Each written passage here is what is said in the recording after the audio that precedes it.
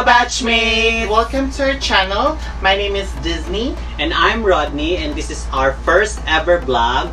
Ang gagawin namin ngayon is magmumukbang kami with chikahan. So, True. shrimp. Very yummy and um, so itong crab at shrimp, um, kami talaga nagluluto nito. Opo. So we have crab, shrimp.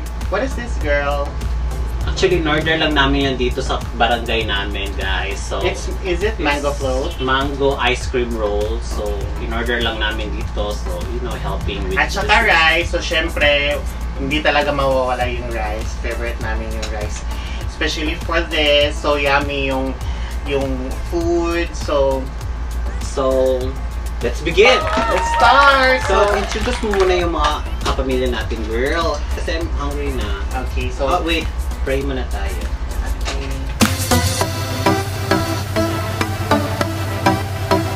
Okay. Kasi Okay, so- gutom na ako. So habang busy si Rodney, so Yes, guys. Gutom na talaga ako, Mm, guys. so I will introduce first our family. So so first um, my mother's name is Lucita Cabachetti and her nickname is Daday.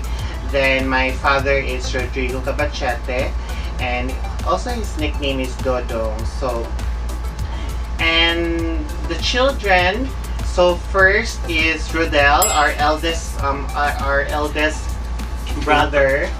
So si si Kuya, yung tawag namin Siya sa yung kanya panganay Kuya. sa- Mm-mm. sa magkakapatid, si Rodel. Then, I'm the next. I'm the second child. Then, sinundan ni Disney. Yeah, ako yung third at tsaka yung fourth is um, pangalan niya is Rodman. Then next is Rod Anthony or Tonton. Then the last one, our youngest and the only sister we have is Mary Luz or uh, we call her um, Inday. Inday. So, that's the background of our family, guys. So, yun, may may idea na kayo kung sino kami. So, let's start the chikahan na girl. First topic natin. So yung first topic is why we are doing this vlog. Uh, why we are starting a, a vlog. Kasi wala kami magawa kasi nasa bahay lang kami, work from home. So, nag-initiate kami na gagawa ng vlog regarding kasi marami na kasi mga content sa ibang, ibang vlog. So, yun, um, napag-isip namin na why we will doing a vlog regarding sa yung content is family lang, anong yung bonding bonding namin as a family, then ano mga ginagagawa namin sa as family, yung mga ganun lang. Pure family fun lang. Kasi marami ng iba't ibang content sa vlog na yun, mga pinagagawa nila. So kami, ginagawa din namin mga ginagawa. Kasi work from home eh, kaya naboboard kami. Naboboard so, kami, so- marami kaming ideas, like, we come up so many ideas. Then, yeah, we we thought about this, then we started right now. I really, I really commend our cooking. Like, it's so yummy. Sarap. So yummy. Sarap guys. So, Nag, I prefer, um, makakamay lang kasi Magkakamay sa Bisaya is kinamot. makinamot lang ni guys kay naanad ba mi sa una nasanay kami before ba na hindi kami gumagamit ng utensils like spoon and fork kasi kamay lang Especially like this yummy food, like it's very kanang mas prefer ko talaga yung kamay kasi mas ma mas ma-feel mo talaga yung food na masarap habang nagkakamay. Gusto kong kumuha ng sauce girl. Ang sarap kasi eh. Yung the juiciness. ano ch- Hi Jamega! Hi mga Jumags! Hi Jamega Kim! Supportive talaga siya tapos sooner um, iba-vlog namin yung room niya kasi parang ni-renovate nila Si, si Kim. si Kim Charlie Cruz yung sikat na vlogger daw dito sa Cebu Yeah. True? It's time for you to support us a um, newbie dito Ah. sa you Kasi, know, pagbablog kasi Diba? you're so tenure na kasi. Uh, haligi ka na sa industriya ng vlogging. so, kaya support-support naman dyan, Jumex. Tapos, sooner daw, pag ma-renovate na daw yung third floor niya sa, ano, sa bahay niya, yung room niya, i-room tour daw tayo, i-room tour daw niya tayo. So, Wow, excited ako sa collabs. magko-collab na naman kami ni Jumex. Tapos may mga libak challenge din kami ni Jumex soon. So, Jumega, ingat-ingat. So guys, so actually we're from Surigao City talaga. So our family is there, staying there and kami lang dalawa dito ni Rodney ang nasa Cebu City kasi dito kasi kami nag-work. Kumakayod kami guys kasi Mm-mm. para sa future. Since 2012, nandito na kami. Pero mas nauna ito si Rodney na dito. Uh, na, nauna ko dito, nag-experience experience lang, nag-explore explore, then since wala namang ano, walang hindi pinagpala ng may kapal na maka-work, so bumalik muna ako sa Surigao, then after pag-graduate ni Disney from college, we decided to come here, then ano, explore again para for ano for opportunity na Mhm. may dumating na naman so ah, wala kasing ma- wala kami makikitang trabaho talaga sa Surigao kasi Less Surigao- opportunity sa Surigao kasi kasi hindi pa well developed. Unlike dito sa Cebu, like there's so many BPO and anytime makahanap ka marami talaga- talagang opportunity. so, makahanap ka talaga ng trabaho so di ba so thank God na ano binigyan kami ni God ng opportunity na makapagtrabaho then yun So first, our topic is yung si ate girl na yung si ate girl sa TikTok. Sino yun? Actually, nakita ko siya first sa TikTok. Hindi pa siya, hindi pa talaga siya nagte-trending. Nakita ko talaga sa TikTok. At yung reaction ko talaga is OMG. So, ano bang ginawa ni ate girl kasi yung si ate girl kasi, kasi may nako-comment sa kanya sa TikTok. na, Na- wow. Pwede ba ka, pwede ka bang mag, magka- makadate? Mhm. La- lalaki yung nag-comment kasi sa TikTok. At yun, si ate girl, rumeply siya sa comment via TikTok. Tapos sinasabi niya doon na siya open open na siya open for dating. dating bakit daw okay na siya ko ama. Hindi ko alam ha, hindi ko sure pero correct me if I'm wrong. Kasi yung tatlong nakadate niya first is yung lalaki, dinala siya sa Jollibee order yung lalaki daw ng one burger at ayun tapos hati lang sila. Kala niya na orderan pa siya isa. So doon sh- so parang nagra-rant siya about sa guy dahil doon. Nag nag-express lang siya sa mga kadate niya before na ganun kaya hindi siya na open for dating yung dalawa yung ikalawa at ikatatlo parang dinala siya ng dinala siya sa Mexican restaurant niya hindi pala niya gusto yung mga Mexican food Once hindi ka naman siguro niloko, 'di ba? Hindi ka naman ginosting, hindi ka kinatfish at first met. So wala namang ginawa yung lalaki. So dapat be thankful na na, na dinala ka sa Jollibee, pinakain ka kasi tapos sabi niya nag-sharing sila ng burger. yeah Girl, sharing is loving, girl. Baka yun yung ano ng ano ng lalaki talaga. baka Sharing is loving kaya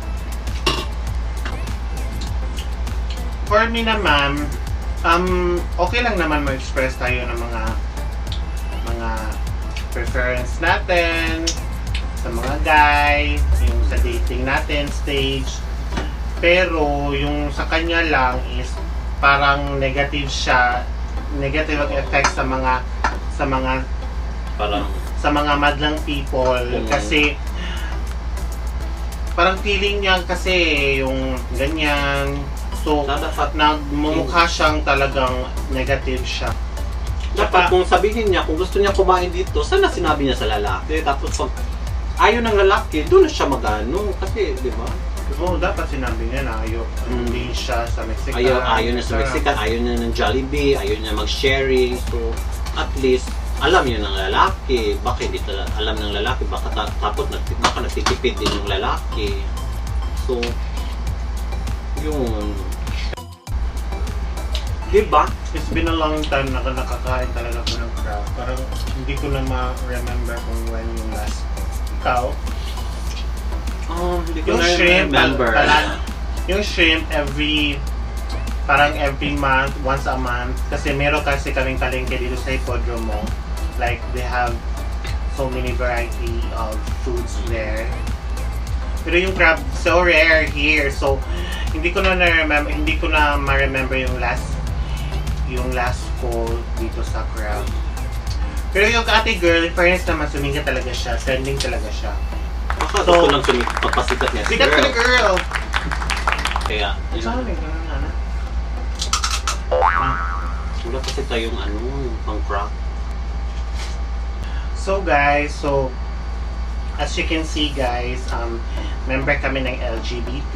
So ako, um, I'm, I'm, I consider myself as a transgender. Since naka, namulat na yung mga mata ko sa world, alam ko na kung ano ako. Hindi pa ako yung parang um, in denial. Me too. Our, family is is very colorful. At um for sa six uh, sa six na magkakapatid, dalawat kami part sa LGBT. Ta- tapos swerte naman kami sa parents namin kasi very supportive sila like they they have no issue while we growing up about our gender identity. Yes, kasi may narinig ako ng mga classmate ko ng mga kapwa ko gay, ng high school, at saka college, na um, pinapalo sila, parang kinapus, kinikastigo sila ng mga ng father nila. Kasi May narinig ako na kasi ayaw nila, hindi sila ka nang, hindi sila tanggap as a gay.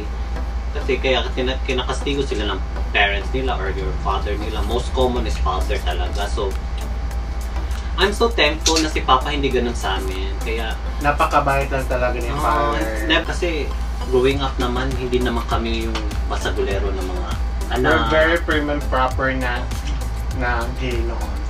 Kaya siguro ganun, ganun kami lumaki kasi tinanggap na kami ng parents namin at saka yung yung yung paglaki namin parang hindi kami pinipressure. So as a return yun dapat yung yung actions namin yung behavior namin dapat normal as normal kung ano kami. So hindi kami talaga yung yung nag-ano nagkakalat sa sa labas na ganun. So prim and proper talaga kasi yun doon tayo doon tayo respetuhin ng mga tao Yung parents namin is very strict. Especially mother. si mother yung grabe Yung sa side talaga ng sa mother side namin is lumaki talaga sila ng grabe, napaka-strict yung parents nila. Sa, kaya na-inherit nila. So, napaka-strict. So, lahat ng klase ng palo, mapa-hanger, mapa, ano pa yan, hanger experience um, talaga namin. centuron dos por dos Experience talaga. Especially sa my eldest, si Rodel at si Rodney. kami talaga kasi, Kasi silang eldest, sila, sila kasi yung elder, then ako, ikatatlo na pero may may asthma kasi ako. So, exception palagi exemption, exempted sa mga ganyan. Childhood namin yun talaga experience namin na grabe yung ano pagdisiplina. Pero hindi naman ako nag ano na yun ang pagdisiplina sa amin. Kasi parang at dahil doon parang na tumino naman kami. At Tum- matitino talaga kami na habang lumalaki, Mm. prim and proper talaga kami like um, we're very shy. Shy type kami. In terms sa mga events sa family, hindi talaga kami yung vocal. Behave lang talaga behave kami. tapos kasi sa sobrang behave namin kami yung lagi nakikita. Kasi la, bakit daw malamya kami yung gano'n ayaw pa nila ng gano'n so hindi ko hindi namin alam kung saan kami lulukan So, as, uh, we Kaya- experience talaga yung mga discrimination hindi lang sa labas also sa within our family clan. So sa core na ma, hindi talaga yung maiwasan Kasi kapag LG, eh, member kasi LGBT, you have a strong-minded heart. Kasi hindi ka maka-go through kasi kasi maraming discrimination. feel, feel ko ha swerte, na, swerte dito ang mga LGBT sa Phil- Philippines. Kasi compare sa ibang bansa yung rate nila of suicidal rate for all LG- LGBT members are very high. So Mm, kasi iba talaga yung culture eh. Ibang so culture nila, tapos hindi ko alam kung mag-factor yun sa family or hindi ko talaga alam. Pero malaki talaga ang factor sa family. Dapat support din tayo sa mga mga anak natin or mga ka-family member natin na member sa LGBT community. Kasi sila yung talaga yung nasuffer talaga eh. Kasi mahirap, at, mahirap ang buhay tapos pinapahirapan ko sila masyado kasi nang dahil sa discrimination. Since nag-start yung work from home, hindi na talaga kami nakauwi sa Surigao, sa Surigao City. So, we are planning to go home this December if okay na talaga yung pag yung travel. may plano talaga kaming umuwi guys kasi yung namatay yung lolo namin last May, May parang may. Birthday Yung- na. kasi um, last May na pumano na kasi yung lolo namin tapos gusto talaga namin umuwi tapos at that time mahirap kasi doon naghihigpitan talaga yung time na yun kasi ECQ dito hindi pa pwedeng hindi pa pwedeng maka maka-travel from Cebu to Surigao. So wala, wala kaming choice kundi video conference lang. Tapos pagdating mo doon i-quarantine ka pa ng 14 days. So we're planning to go back home this December sana okay ang okay na ang lahat wala nang mga quarantine quarantine na yan kasi Oo, sana okay na. Kasi excited excited din ako makauwi kasi mag mag-vlog kami with my whole family. So, stay tuned kayo guys ha para sa mga more updates namin. Just please subscribe to our YouTube channel and click the bell button for more updates. true. Ouch.